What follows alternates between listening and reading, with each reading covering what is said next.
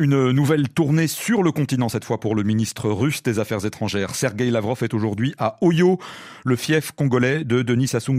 Mais il a commencé hier par une arrivée presque surprise à Conakry. Première visite en Guinée depuis le coup d'État de Mamadi Doumbouya et plus largement même première visite depuis dix ans.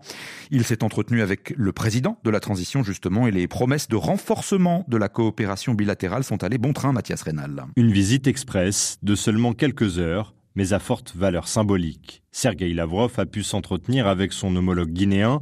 Il a aussi et surtout été reçu par Mamadi Doumbouya au palais présidentiel. Si le putsch du 5 septembre 2021 n'avait pas marqué de rupture entre Conakry et Moscou, par cette visite, les deux pays affichent la bonne santé de leurs relations, prêts à renforcer leur coopération dans différents domaines l'économie, la défense, la lutte antiterroriste ou encore la santé, l'éducation. Le président de la transition a rappelé durant les échanges que la Guinée reste un pays ouvert, souverain, qui coopère avec tout le monde. Mamadi Doumbouya, fidèle à sa ligne diplomatique, prenant la neutralité et le non-alignement, la communication officielle diffusée par Conakry à l'issue de cette visite insiste sur les liens historiques et diplomatiques solides qui unissent les deux pays depuis 65 ans. Aujourd'hui, les relations reposent avant tout sur les mines, sujet abordé lors des discussions entre les deux ministres des Affaires étrangères.